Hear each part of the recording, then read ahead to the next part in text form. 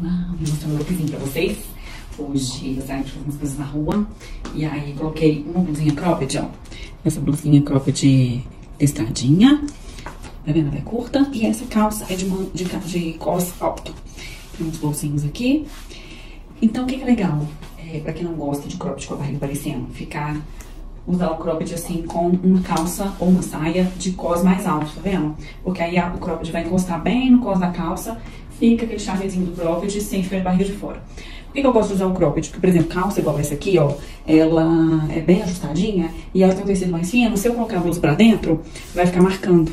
Então, o cropped ajuda nisso, ó, que ele fica parecendo que é uma blusinha que tá pra dentro, só que sem marcar. Ó. Aí coloquei essa sapatilha, que tem uma estampa de cobra bem antiguinha, gente. Já até troquei a sola dela, porque a sola dela é, cortou toda. E aí eu mandei um sapateiro pra ajustar. E esse é o meu cozinho. Eu coloquei só uma pulseira, na verdade é um colar que eu uso enrolado no braço como se fosse uma pulseira. É um truque que você multiplicar que você tem no armário.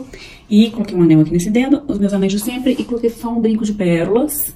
É, só pra compor assim. Então ficou um look armadinho pra gente, né, fazer as coisas do dia a dia, confortável. Lógico, usei com a mesma bolsa de sempre. que a bolsa que eu uso no meu dia a dia é essa, quase, quase que sempre, porque é fácil, jogar as coisas aqui dentro, cabe tudo, muito bom, combina com tudo. Então esse é o meu dia pra vocês.